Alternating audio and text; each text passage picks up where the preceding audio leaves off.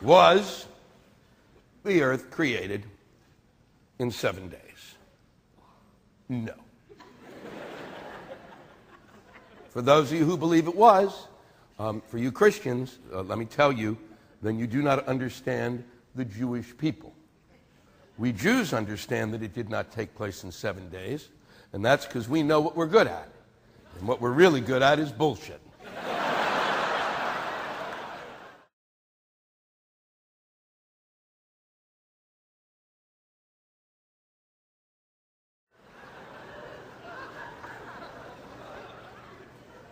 There are people who believe that dinosaurs and men lived together, that they roamed the earth at the same time.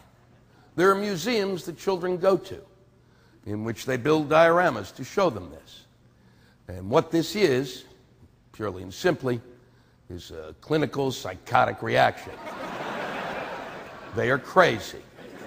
They are stone cold fuck nuts. I can't be kind about this because these people are watching the Flintstones as if it were a documentary.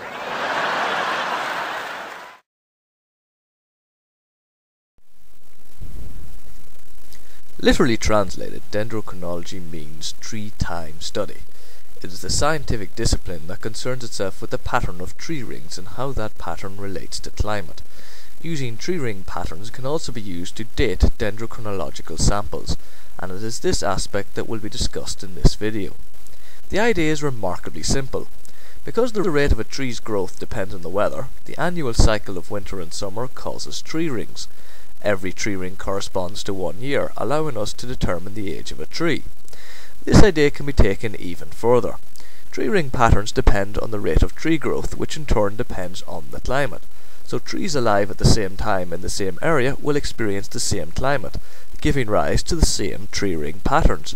If we have two tree ring patterns that have significant overlap, we can conclude that the overlapping rings correspond to when both trees were experiencing the same climate. In other words, when the lifetime of both of those trees coincided. Starting from a modern day sample and working backwards through the tree ring patterns allows us to count backwards in time to date older samples. The oldest dendrochronological records go back over 10,000 years. The same winter-summer cycle that leads to tree rings also leads to ice layers. Ice core samples taken from shallow depths can be dated by visually counting the layers.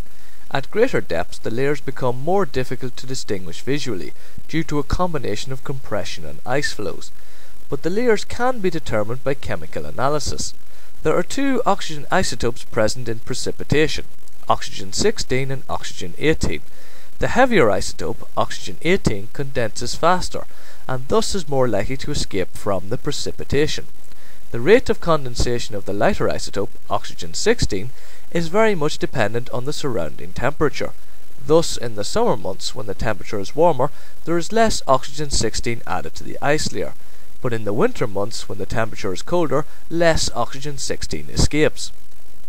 Thus layers with a lesser ratio of oxygen 16 correspond to summer, and those layers with a higher ratio of oxygen 16 correspond to winter months. This sequence of rising and falling isotope ratios allows scientists to count backwards in time, with some samples like the Vostok ice core going back hundreds of thousands of years.